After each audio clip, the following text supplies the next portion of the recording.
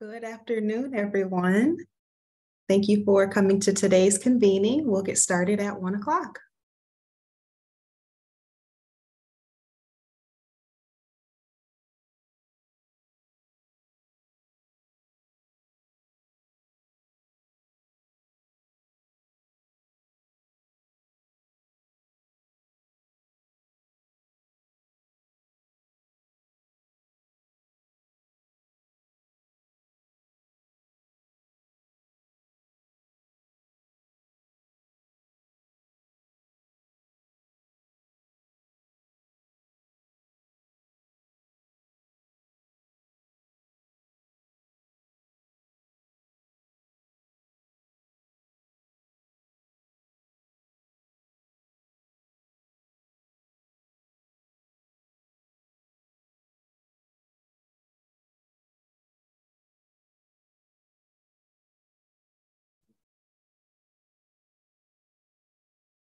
Hello, how's it going?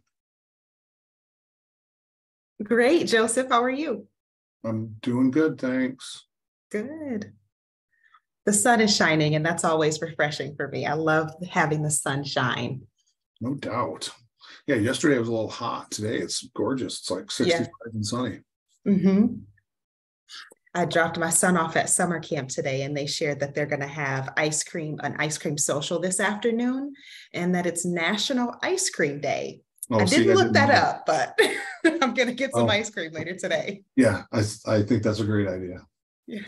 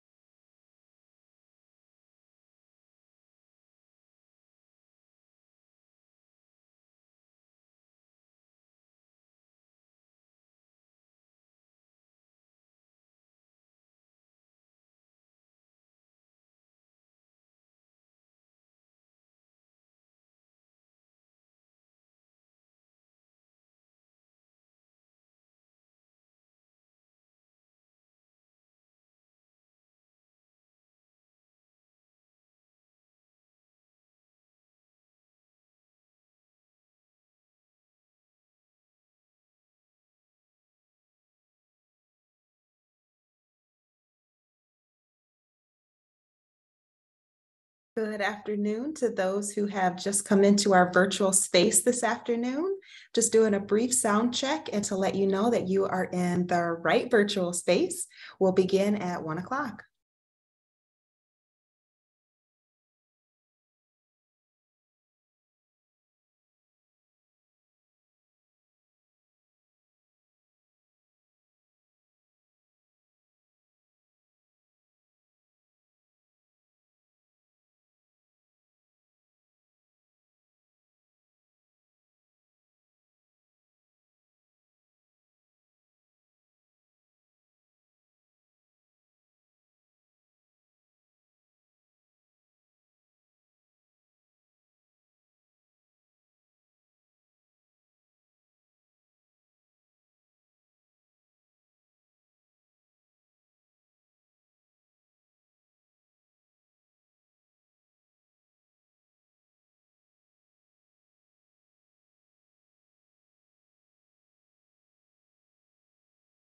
Good afternoon, Lindsay. I hope you're doing well today.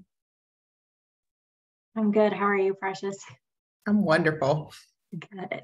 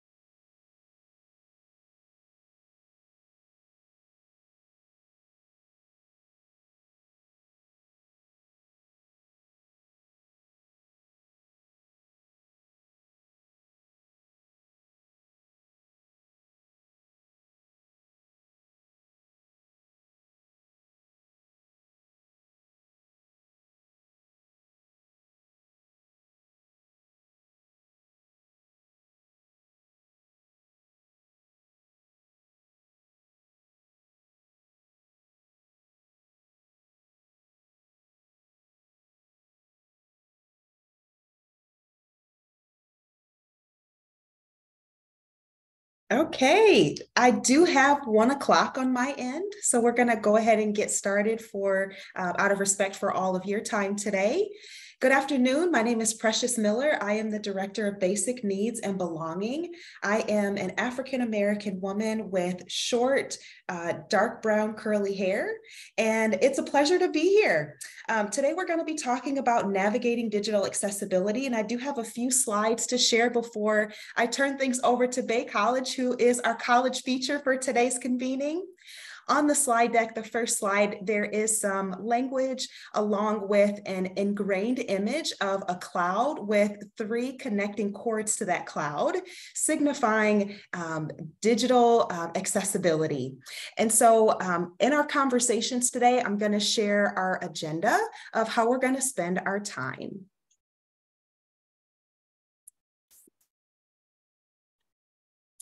So on the agenda slide, there is another ingrained image of an hourglass along with a calendar, signifying how we'll spend our time for the next hour today. We're going to get begin with some welcome and introductions. I hope that you feel comfortable bringing um, your full self to this virtual space. If you are able to uh, type into the chat, you can share um, information that you feel comfortable sharing, such as your name, the institution that you're representing, and your role at your institution. And if you feel so inclined, perhaps you might share the highlight of your summer thus far, or something you might be looking forward to within the next couple of months as we continue to enjoy a coveted Michigan summer. Following our welcome and introductions, I'm going to share some digital accessibility updates of things that you can expect from uh, Michigan Community College Association and how we are looking to continue to support the efforts at your institution. Then we will turn the baton over to Bay College to share the ways in which they are prioritizing and supporting the digital accessibility needs of their students followed by some discussion, question, and answer. And then we'll end with talking about next steps pertaining to uh, the Digital Accessibility Affinity Group, along with um, some um, upcoming events that you can expect to hear more about and how you can stay connected to stay in the know about what is coming um, for the rest of this uh, year. So earlier this spring, we had a conversation with those who are leaders in digital accessibility at Michigan Community Colleges, really to serve as a listening opportunity for us at MCCA to become more aware of the um, things that are top of mind at your institution and ways in which MCCA can continue to support your efforts. From that listening session, we gathered a lot of information, but things that are top of mind and, and items that institutions are prioritizing is what I wanted to highlight in our conversation today. So, from that listening session, we heard that a lot of colleges are looking to better understand what to prioritize. Sometimes, um, when we are thinking about diversity, equity, inclusion, inclusion, belonging, and accessibility, it can feel like we're mopping the ocean. So, where do we start and how do we prioritize that, um, both physically and financially at our institutions? Some colleges were also interested in learning more about closed captioning policies that are in existence at other colleges, along with how do we in, um, include American Sign Language for digital events and broadcasting live events, followed by training for staff and faculty. How do we get support um, at our institution and regarding uh, accessibility issues for students who are looking to access campus materials, internet, and um, other resources. So in response to the things that are top of mind priorities for colleges, we pulled together a list of items and activities that we can support um, engagement in. And one of those activities is the development of the Digital Accessibility Affinity Group that Holly McGee, who is on the call, has been so gracious to uh, support the development of. Along with uh, the Digital Accessibility uh, Affinity Group, we have some events that we would like to facilitate. The first one being this one, uh, navigating digital inclusivity. So if this is the topic that you are interested in today, you are in the right space. In the fall, we are also setting our sights on pulling in some resources from the state of Michigan. Michigan has developed uh, the high speed internet office to offer uh, resources to close the digital divide in Michigan. So I am um, looking to pull them into the conversation to do a, a, an overview of state resources that colleges can pull on to support the needs of their students. We are also setting our sights to develop partnership with Disability Network of Southwest Michigan. I had a fantastic call with them this morning and they are interested in partnering with us. And so we are hoping that they would be able to offer some presentations around ways that colleges can continue to prioritize uh, digi digital um, justice, disability justice, along with ways we can access and utilize practical strategies to promote inclusive learning environments followed by an affinity group meeting towards the end of the year to talk about things that are top of mind for your institution, as well as current um, trends at your college and technology trends as we go into the 2024 uh, calendar year. Now, these activities are great, but I understand that sometimes finances can be a challenge to continue um, uplifting some of these efforts. So I did want to share a couple of grant opportunities that are coming out of the Office of Michigan College Access Network. There are currently two grants 60 by 30 Adult Student Success Grant, which offers $200,000 over the span of two years. And this is really focusing on um, adult learners, those from Futures for Frontliners or Reconnect who are returning to our college spaces, and ways to increase uh, retention and completion of these individuals. And then there is another grant, the Immigrant Student Success Grant. They are offering 150,000 over the span of 18 months to specifically support immigrant, international, and first generation college students and increasing their enrollment and retention. I am going to put a, a more descriptive um, link that you all can access in the chat to learn more about this. So uh, during the spring, we had our listening session that I mentioned earlier, and we heard some really great um, activities that are coming out of Bay College.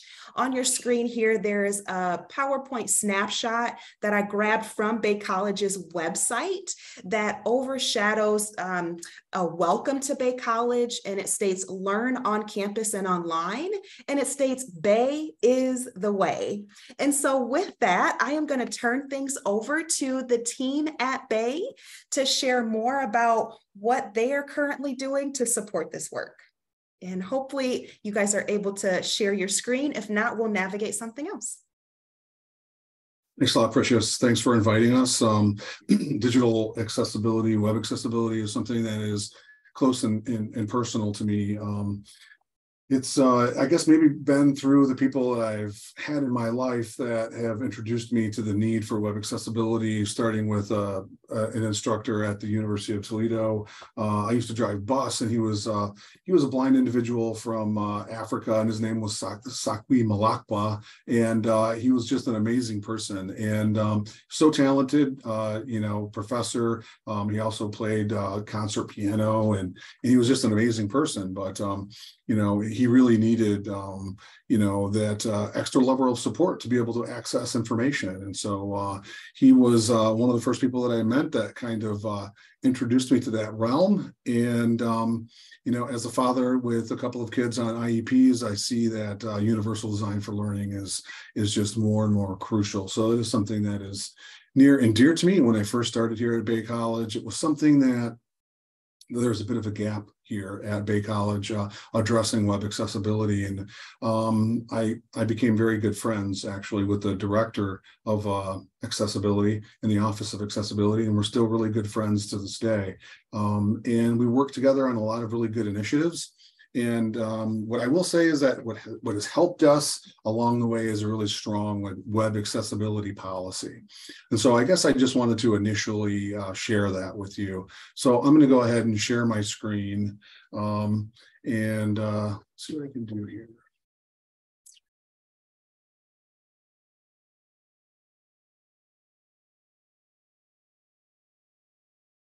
Give me one second.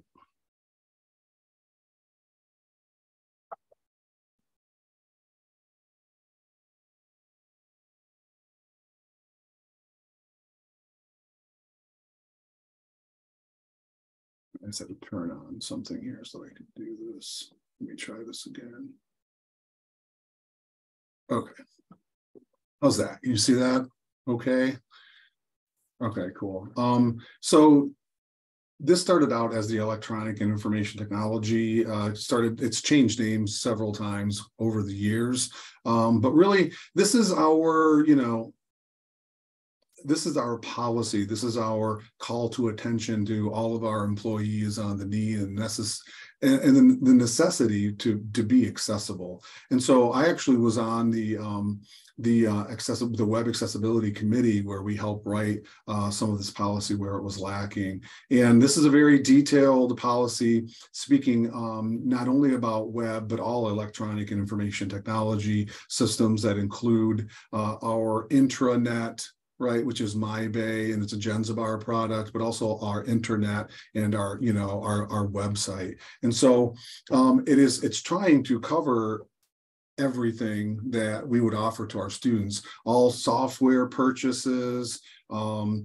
you know, that they need to be accessible and that we have a committee to address accessibility concerns um, the EIT Accessibility Committee is the committee that I worked on for a while to create some of this language. We have very specific language in here on um, what accessibility is and that employees are responsible for creating and updating web content. So the employees that update the web content, they're also responsible to make sure that that web content is accessible. Um, and we have very, you know, specific language in here about WCAG, right, which is the Web Content uh, Accessibility Guidelines. So this is really our foundation to uh, about the, a lot of the success that we've had at Bay College over the years. Um, but it not only applies to um, our website intranets, but all the documents uploaded into our course management systems. So syllabi, you know, handouts, PowerPoints, uh, you name it. All of those things are covered in this policy. And it's a it's a call to action to all people that are uploading digital information um, to to, to be knowledgeable about web accessibility. You know, with the increasing effectiveness of artificial intelligence, I'm hoping that will really help uh, to create more accessible documents, websites, and so forth. But uh, the long and the short of it comes down to it really depends on the person being familiar with some of those really important things like alt tags and captions and you know uh, headings and all that kind of good stuff, descriptive URLs and all this kind of stuff. So um, you know this policy does a really good detailed job of just laying it all out there. And so what I will say to institutions that may not have a web accessibility policy, it is absolutely crucial and a very, very important first step to tackle uh, is, is, to write a web accessibility policy. So um, that's really all I wanted to, to, to, say at the beginning there, lay the foundation, and I'm going to hand it over to um, to Lindsay uh, to, uh, to, to review our web accessibility certification course. So I'm going to go ahead and stop sharing. Thanks, Joseph. Can everyone hear me okay? Okay, great. All right, I am going to share my screen. And can everybody see my screen okay?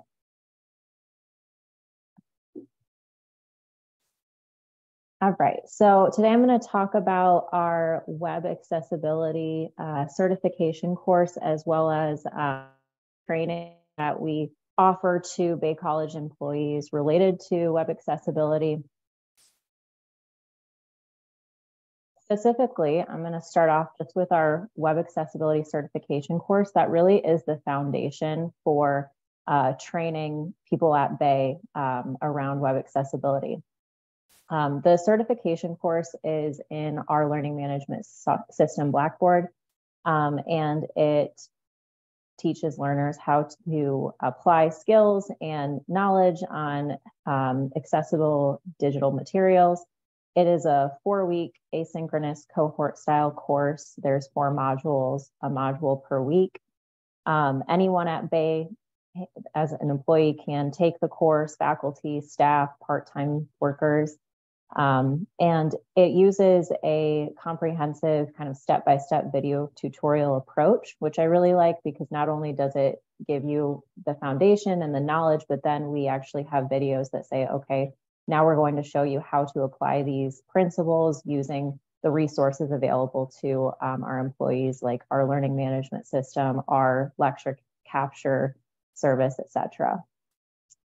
Um, outside of the web accessibility certification course, we offer a couple other modalities on training. Um, we do facilitate one-on-one Zoom training sessions. These are really like boot camp style, about an hour, um, basics of web accessibility. We obviously cannot cover everything that is in the web accessibility course, but um, I we, we try to at least touch on everything um, or something in each module to give a nice overview. Um, that is, you know, if we aren't offering the cohort at that time or we just don't have enough people at that time, we can deliver that one-on-one training. Um, we also will sometimes put people in the course and have them go through it more independent study style, um, where they're just going through the modules and um, you know, learning about the material, but they don't have that cohort to um, engage and with and discuss in the discussion boards. Um, but if again we don't have a full cohort at the time that it's needed, we can offer that. We also offer a uh, student accessibility course for student workers, and again, it is um, centered around our web accessibility certification course. It is um, pretty much all the same information, the same modules, but it is more independent study style and aimed for our student workers.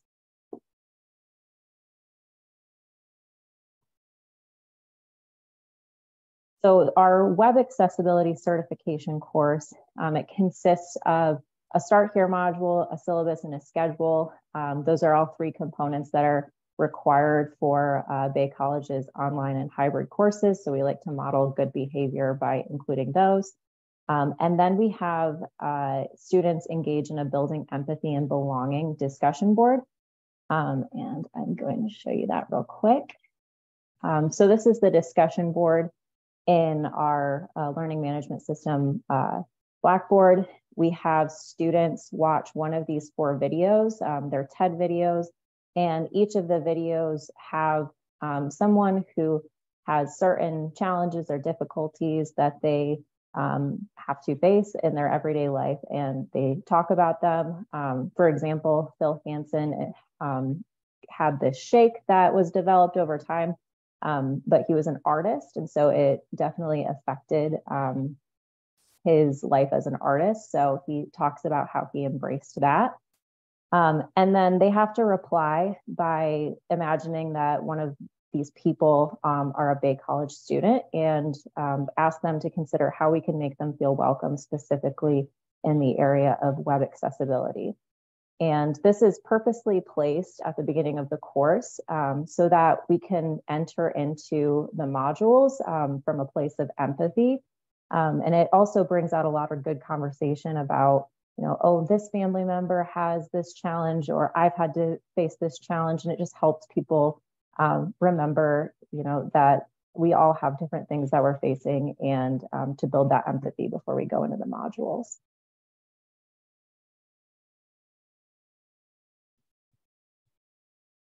The first module um, just it goes over accessibility, universal design principles. It references the 1945 um, petition of Kalamazoo for curb cuts which originally was for um, injured veterans, but uh, later it showed that it was actually helpful for many different travelers, like bicyclists and people with strollers, etc.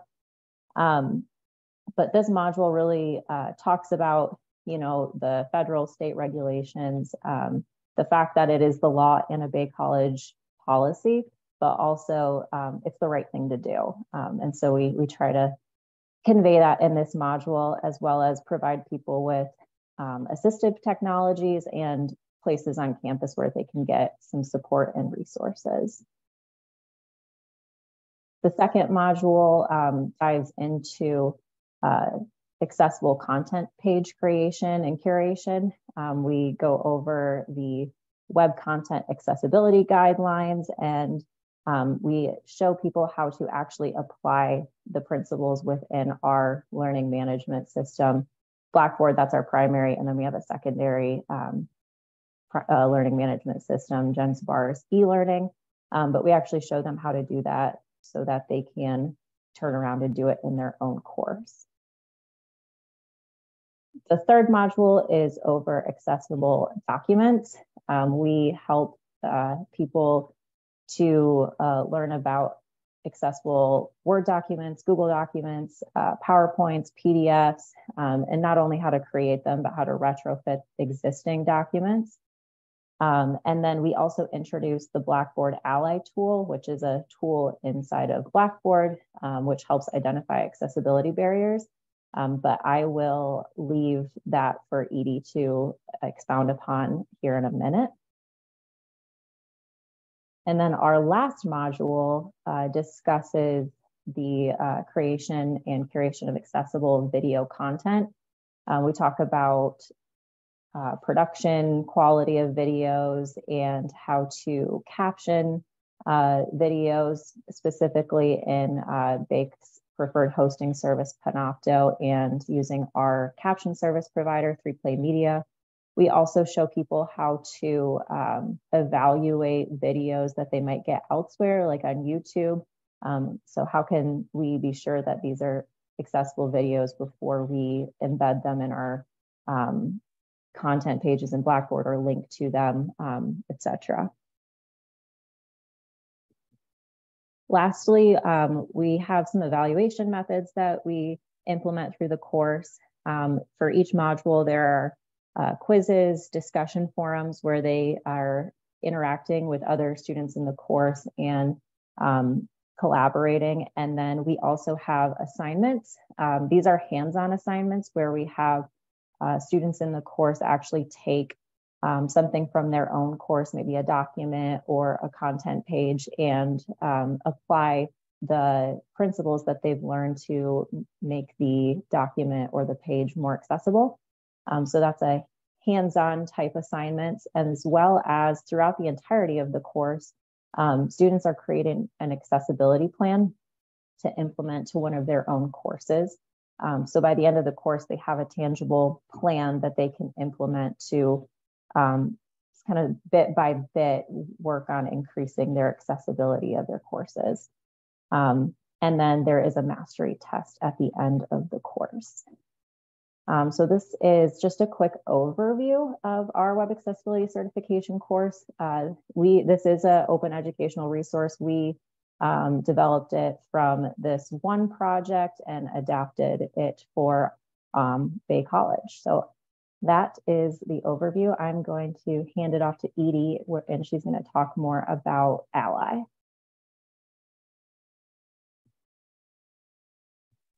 Thanks. I'm not really Joseph. I just changed my name so it actually is my name. I can turn my video on here for a second. We're a little bit of a hot mess. I was just over at, campus meeting our new president and literally turned around and came back. It's a 40 minute drive each way. So I was coming in hot. So we're a bit of a mess. Um, so I'm going to turn this off because you don't need to see my face anyway. I'll share my screen. Need to find the right window.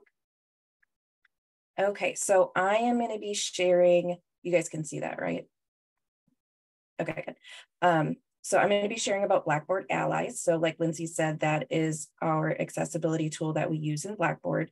Um, and it has three main functions. It provides support for students, instructors, and administrators. So for students, the primary function is that it provides a multiple means of access for them. Um, so I'm going to show you what that looks like in Blackboard as a student. So this is our online teaching certification class. Um, so as a student, they'll see these icons throughout the class. It's super simple.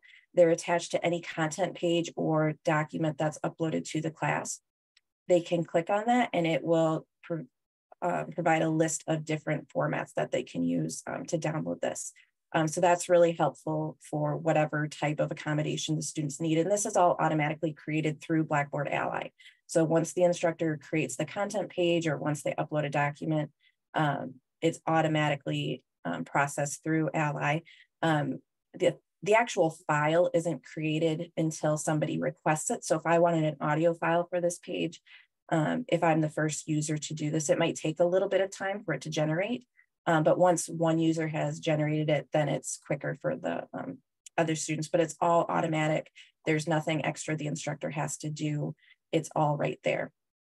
Um, so that's basically the student end of it. It looks the same throughout. The consistency makes it a lot easier for students. Um, so it's not like it looks one way on one page and one way on a different page. Um, for instructors, uh, their two primary functions is checking the accessible content to make sure it is accessible. And for things that aren't accessible or not ideally accessible, it provides guidance for either making it accessible or making it more accessible. Um, so we'll look at the instructor side. Um, in the class, there's a few different way, ways for the instructor to access Ally. The easiest is when they're in the class, they'll see these gas gauges um, that show their accessibility score for each item, and they can click on that. And it will show their overall accessibility score. It tells them what the score means. So what is accessible about this image? Um, it gives tips for how to improve. So if the description maybe isn't that good, Blackboard what doesn't know if the description is good or not. So um, you can always review that. Um, and for this instance, it could be marked as decorative because it's an image, but depending on what type of file it is, it's going to give different guidance. If it's a PDF or if it's a Word document, it's going to be looking for different things. Um, so it will provide feedback in different ways depending on um, what it comes up with. Um, another nice thing about this, while I've got this open, is whatever changes need to be made, a lot of them can be made right within this window. So you don't have to like download the file, make your edits, re-upload it. You can make your changes right here. There are some types of files where you would need to download it and then re-upload it, but you can do it right here as well. Um, so if I wanted to replace this with a new file, I could do that right here if it was a Word document or something like that. Um, so the instructors don't have to look all over the class to find where the image is at. It's right within this thing. Um, another way they can access it, and this is actually my preferred method for accessing um, Blackboard Ally, is through our content collection. This brings up every document in the course. I'm in student preview, so it's not going to show me anything. There we go. Open our content collection. And you can see on here, it's going to give an accessibility score for every single um, file that's been uploaded in the course. Some of these things may not be used in the course anymore, so it's a good way to review your documents too to make sure you're using everything that's actually in there. Um, but instructors can make revisions from right here as well. So this is a, oh, that's my face. Let's pick a different one. Nobody wants to see that. Okay, so this is a better example. Um, it's going to tell us what our score is. So this is not an accessible image. It's only 5% accessible. We can click all issues to see what the problem is. So we have contrast issues, um, and we also are missing our description. So we can click on this, click on how to write a good description. It will give us examples of how to make the most of our description. We don't want things to be too wordy or whatever, um, but we want to make sure we're getting across the point of this image.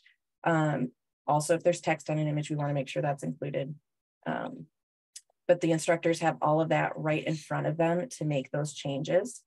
Um, now this one, the contrast issue, you can't fix that right within um, Blackboard. So you would have to download this image, make it more accessible for contrast and then re-upload it, but you can do it right here. And if this image is on five different page, pages in the course, it'll update it on all five pages. You wouldn't have to find it every single spot. Um, it would update it automatically. So that's really handy for the instructors. Um, so I think I did everything there that we needed to look at for the instructor side. Um, and then the last one was the admin side.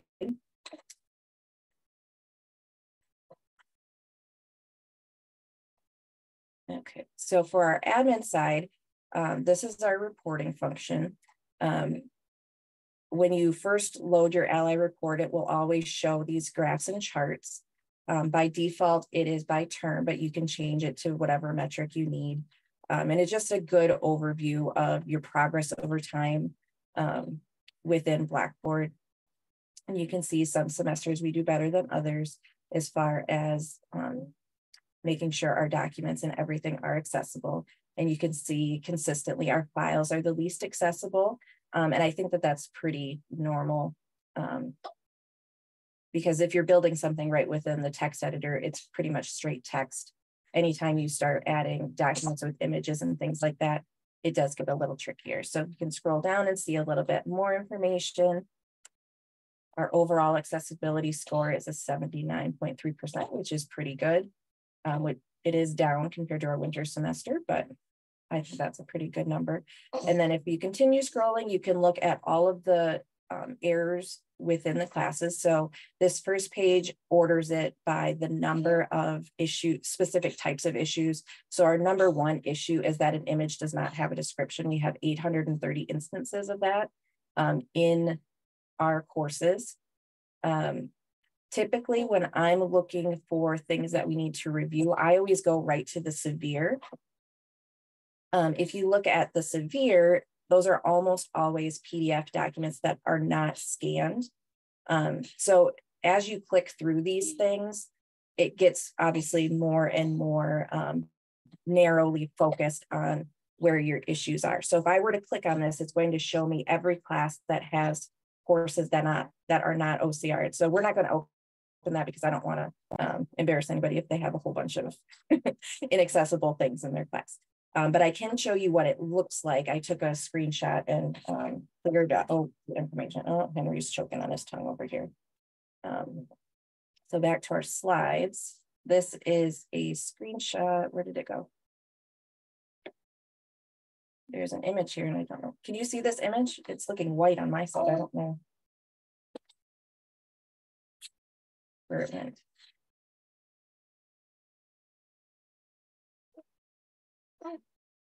It's not white on my end, Edie. I can share my screen if you stop. Yeah, do you want, yeah, do you want to just share it? I'll stop sharing.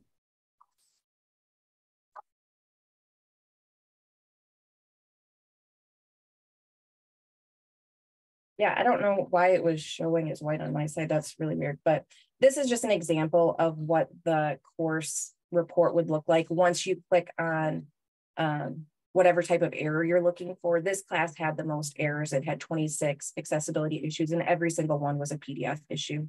Um, so it just gives you a good starting point of what instructors you should be reaching out to, which classes have more needs than others.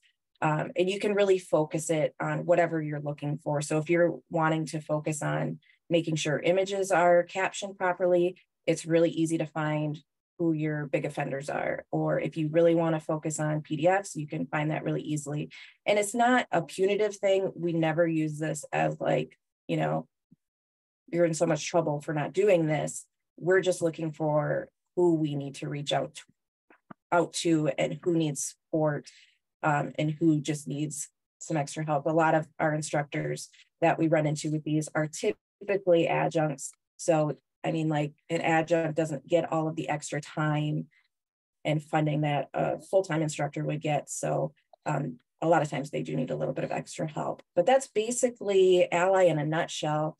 I feel like it's made things a really um, a lot easier for our faculty to make the changes that they need in the easiest way possible. They don't have to have 15 different programs to make an, a document accessible. They don't have to have all of these different scanners to check for different things. It pretty much everything that they need to check for is being checked for an ally and it's providing immediate support for them and feedback for them um, when they're uploading documents.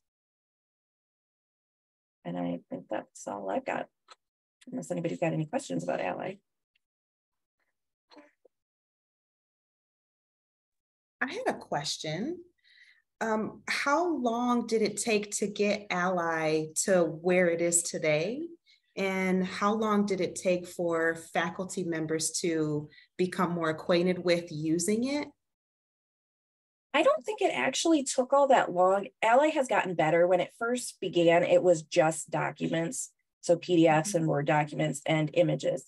Um, they recently, I don't know how recently it was, but they added the text editor. So that's been nice. So now pretty much everything that's in Blackboard is being scanned. But for faculty, I feel like they were pretty much on board right from the beginning. We had lots of questions about how do I get my stuff accessible? But as far as them using Ally to scan their stuff and find where the problems were, I think it's pretty immediate because nobody wants to see those little red gas gauges in their class. So they want to get rid of those. And they were pretty on board with reaching out if they needed help and couldn't figure out how to fix it on their own.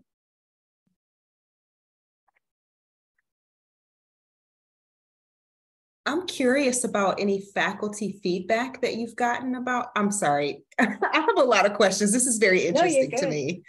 Um, what kind of faculty feedback have you gotten about using this? They haven't complained about it, so I take that as a win. um, because if they had a problem with it, we would know. Um, but I feel like faculty have been all on board with it because it is so easy and it's so intuitive to use. Um, I don't know, Joseph, maybe you're the they complained to Joseph more than they complained to me. So um, he may have a different op opinion on that, but I feel like I think that you know over time it's uh, things have changed a lot, um, and uh, you know I think the initial concern from anyone, and that's that's this isn't just faculty, this is also staff, you know. Um, but yeah, Lindsay, you can uh, stop sharing and then we can go to full screen mode here. The um the the thing is, is that I think that it takes so much time. Um, and that is one of the things that I am really hopeful for about with AI is that um, it they develop some tools that could really help people with uh, accessibility, but um, it does take a lot of time uh, to make sure that all of your documents are accessible. And I think what happens is that when you learn initially some strategies on how to be successful uh, and accessible, your head kind of explodes because you're like, wow, I, I'm, I'm going to have to do this for like everything in my class. And then for me as an administrator, your head explodes even farther because it's like, not only does it have to be for you, but it has to be for all and and you know all the classes all the content. And not only that but all of our websites and our intranets and everything everywhere you know is, that's the ideal right? But the only way that that could ever be possible is is that everybody's got to be on board. Everybody has to go through some sort of training. Every, everyone creates digital documents. And so therefore it is important that everyone go through some sort of accessibility training and I think what our office has tried to do is, is to be uh, that support for not only faculty, but staff um, to, to help them get connected with, you know, how to create accessible documents. It looks like Holly's got her hand up. I have lots of questions too, Precious. So um, can we start with what is your staffing model to support this effort? So specifically, what's the name of the department, how many um, staff members, what, you know, faculty, admin, that sort of thing. So we've always, I mean, when I first started here 12 years ago, um, there was a real deficit in web accessibility. And um, and that became very apparent to me. And um, our Office of Accessibility doesn't necessarily understand all the technology all the technology behind uh, web accessibility and digital accessibility um, and so that wasn't necessarily a responsibility of that office and it was just kind of no one's responsibility and so i took it on i was like look we have to you know we have to be concerned about web accessibility. And um, I started at the University of Toledo you know, working towards digital accessibility when I was there before I came here. So it is just our office. It is just the Office of Online Learning. And we have, you know, there are three people in our office. Um, but it is also the Office of Accessibility, which is uh, one person, uh, Carrie Mimier. And, um, but she's handling the day to day, you know, functionality of, uh, you know, students getting the accommodations that they need. And that is where the majority of her job uh, rests, is with helping students on a day-to-day basis getting the accommodations that they need to materials. Um, but the Office of Accessibility can also help remediate perhaps some videos that needed to get captioned and log into our three our 3Play Media account and you know do some urgent requests things of that nature so it's a team effort in that regard, but it is our office primarily that works towards web accessibility and does the web accessibility training. Um, and, and then we try to train faculty and, and staff in that regard. So um, I saw the gap and filled it. Yeah, and it kind of did go from nobody's responsibility to now it really is everybody's responsibility. Faculty understand that they have to be creating accessible content. Staff are creating accessible content. We're here to support them, but they're the ones that need to be creating it. Um, so it is everybody's job. Um, we're just there to make sure that they're having what they need and answering their questions when they run into sticky things. But and I actually included it in my job description. And it is now part of Edie's job description. And it is part of the reason why we got to hire Lindsay too is because we really needed help um, filling that gap. And so Lindsay helps to fill that gap too. Okay. Another question I had was, um, what kind of directive was given to all the employees of your campus and who gave that directive? So the directive primarily originally came from the top, which was from the president, right? We need to be web accessible. It's the law. We receive federal funds. So we don't have much of a choice when it comes to being accessible. It is federal law. Uh, if you receive federal funds, you are required to adhere to the ADA law. And, uh, and so it started there, but I will say that um, for me, I report to the VP of academics. And so the VP of academics often sends out emails to folks to let them know that, look, this is the law and we are bound by the law and we have a department to help you become, you know, compliant. Okay. And I think my last one in that train of questions was, um, are employees required to take the certification? And if it's not all of them, what does that look like? Um, So no, they are not required to do the web accessibility certification course. Um, we do have small cohorts that proceed through the course together and um, it's a four week long course. However, we do offer trainings and we use the web accessibility certification course as the foundation for 15 minute trainings that we do and record or and then share via zoom or live one-on-one workshops where we use the web accessibility course to show them the five most important things you know descriptive urls alt tags captions headings uh, things of that nature and and so we can use that course as a hub for delivering uh, kind of training that goes from 15 minutes to an hour to four weeks long. Uh, but no, they're not required. What we have done is try to incentivize, you know, people completing the course by giving them little plaques and and things of that nature. And so uh, we have done that. Um, part of what I really want to present to this group is like, I would really like to create a course collaboratively across institutions that we could offer through perhaps ETOM, the uh, you know Education Technology Organization of Michigan, and uh, Bay College could be a hub, uh, you know, for that, and we could charge a small fee. But um, for institutions that have helped and participated, you know, there would, you know, be, um, there would be no fee, right? So um, I would really like to get a group together that's interested in creating something that we could do at a more, you know, community college of Michigan level. Um, that that's one of the questions I would like to present to this group is because uh, the problem with federal law is this they just say you have to be compliant. They don't tell you you need this certification from this company. And they let you just do what you need to do to be compliant. But really you do need some sort of training program put together right?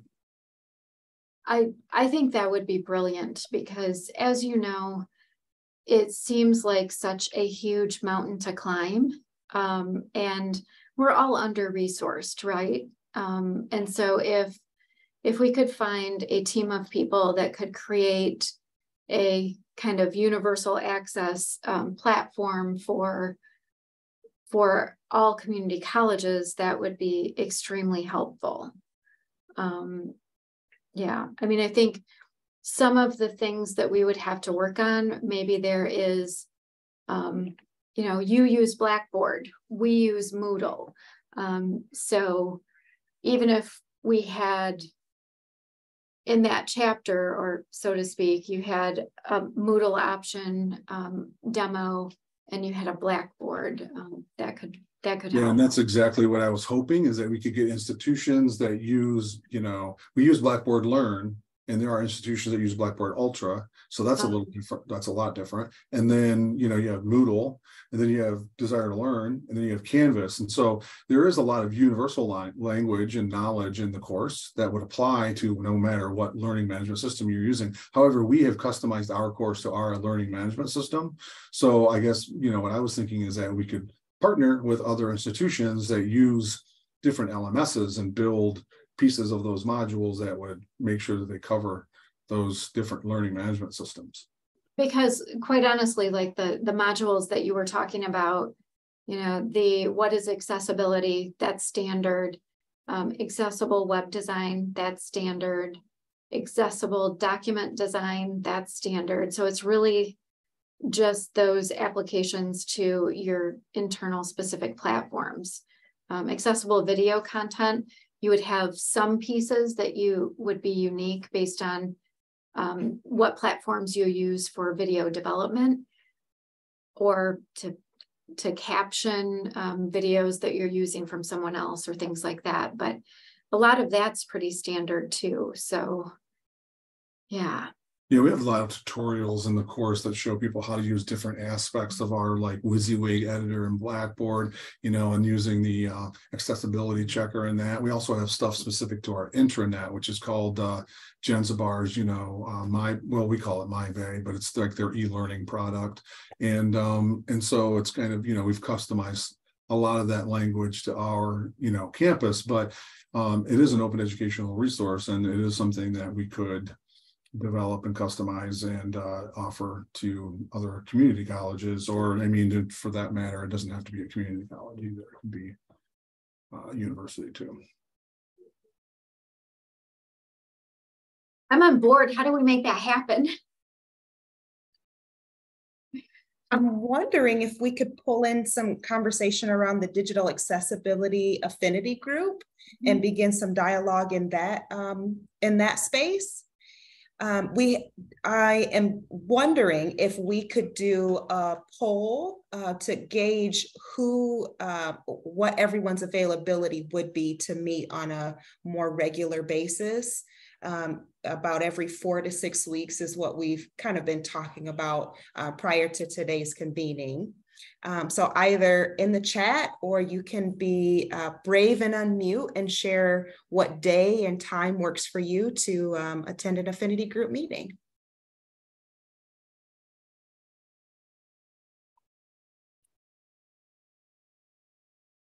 Does Tuesday afternoons generally work for the group? I don't have any standard meetings at that time. Tuesday mornings I do, but afternoons would be fine. Okay. Tuesday works. Great. Thank you, David. Yeah, I think maybe a little bit later in the afternoon, like uh, two thirty, Sure. three. Yeah. Three even. Mhm. Mhm. Yeah, 3 p.m. Tuesdays. Uh, I know we have several Kellogg Community College um, employees on the call too. Um, Ron just said three PM at the latest for him. Okay. Um, anybody else from Kellogg um, have a time constraint on Tuesdays? Should you? Holly, it's Barbara. Um, it's gonna depend. You know, Yeah. if I'm on cabinet, I won't be available. Um, there are some meetings that aren't standard set, but will happen. Um, it's really hard to say if it could be a standing time that's available for me. Sorry, It's not to good. be. No, that's okay. Tammy just posted that academic cabinet meetings are Tuesdays from two thirty to four thirty. Um, and so that, that will take some people. Do you meet every week for academic cabinet? Is it on your calendar, Barbara or Tammy? Um, it's not for me. The chairs and directors rotate. Oh, And then if I have, if I'm um asked to be there because of a issue or a course, that happens, you know, periodically also. Okay, But I'm not a, I'm not a standing member. okay, sounds good. Yeah, we could also send out like when is good or something, you know, and Yeah. pick the time slot that most people can can make it to or something. And I, I'm I'm not, open. saying- yeah, I don't think Tuesdays is off limit for us. Um, because again, even the people on this call, um, may or may not choose to participate in, in that discussion or that sort of thing. So, Is anybody using a different uh, learning management system that's interested in working on this project?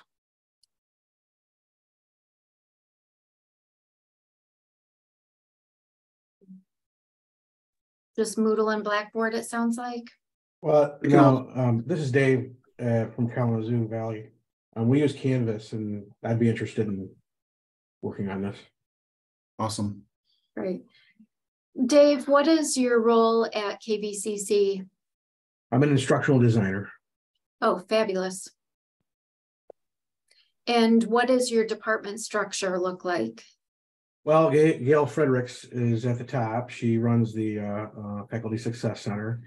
And then there's the rest of us. So there's myself. I'm right now the sole instructional designer and we got three other folks who focus on that, like the technicalities, but um, we all have our hands in accessibility to one degree or another. Molly and myself probably have the most um, experience with accessibility issues.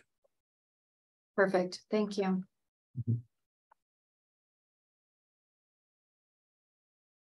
Yeah, I agree. We want to try to be as universal to all learning management system platforms. So um, that would be the goal is to have all the major players, you know, um,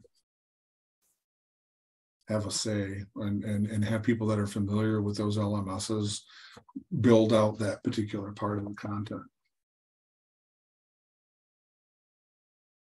Um, we, it was mentioned, ETOM was mentioned. Um, does somebody want to explain that in case there are members of this group that aren't familiar with that? Sure. Uh, ETOM's a great group. Uh, it's a group that I've been part of for a long time. And it's essentially the, um, you know, education technology organization of Michigan. And we just had our summer retreat just recently. Um, and um, they run like an online teaching certification course.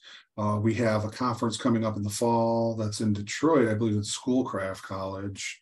And uh, I haven't really talked to Gary or the standing president right now about this, but I think they'd be very open to the idea and using ETOM as a uh, a platform to uh, distribute the knowledge because ETOM is open not only to community colleges but also to four-year institutions like uh, Northern uh, belongs to ETOM, Northern Michigan belongs to ETOM. Uh, the, I think you know Michigan State has come to some of our events. Um, so it's a it's an organization that's is centered around education technology. Well, and you know, I think the goal is to see um, a a training tool like this developed. And I don't think, to me, it doesn't matter who does the developing or who owns it, um, you know, that sort of thing. Because if if we can have support of of other colleges and universities, even um, to help with the development, that's you know that's only going to and that's the joy of oers is open educational resources are, are, open for all to use and to share. Uh it, you know it's cc by this particular course and you know and so you're giving uh you're you're giving credit to the california consortium of community colleges at one and if you're using some of our stuff give us credit but it's not that's the joy of oers and that would be that would be the the agreeing principle that we all agree on is that this is going to be an open educational resource and we can use it how we decide we want to use it. If you want to use it, take it and use it as your, as your institute at your particular institution and use it as a certification tool, uh, great, go for that. But I also think it would be great to develop something that covers all LMSs and offer it through something like ETOM. Yeah. Sherry, um, she might, oh, Sherry's still with us. She just posted in the chat. Um, she's from NMC and is interested um, in this further and shared her um, email contact as well. Kendra says she would like, wants to be applicable across all available platforms. We use D2L Brightspace. Yeah, I think that's like a lot of the big players, right? Blackboard, Learn and Ultra, Brightspace, D2L, Canvas, Moodle. Um, mm-hmm. I'm not sure what those are the big ones. Yeah. And I really think it's easy enough using the structure that you put in place um, to have all of the universal um, content that's applicable regardless of what platforms you're using kind of at the top. And then you talk about LMS systems. Well, that's redundant, LMS. um, and then you would have breakouts for that um, of all the major players. So. Yep, sounds good. Let's do it. Yes. I like that can do attitude. Let's do this. I'm going to place a link in the chat. Um, it is a link to a um, a subscription list where you can subscribe to get updates about affinity group meetings, coming events, um, webinars, grant opportunities. I'll share through that platform as well, along with the PowerPoint slides from today's presentation. Um, so if you wouldn't mind subscribing, that would be great. And um, if you, I hope you have a great rest of your afternoon. I wasn't quite sure how to end this, um, but I appreciate your time this afternoon and I hope you guys are well. Um, thank you. Yeah, thanks for organizing it, Precious. Appreciate it. My pleasure. Yeah, thanks. Thank you. Bye.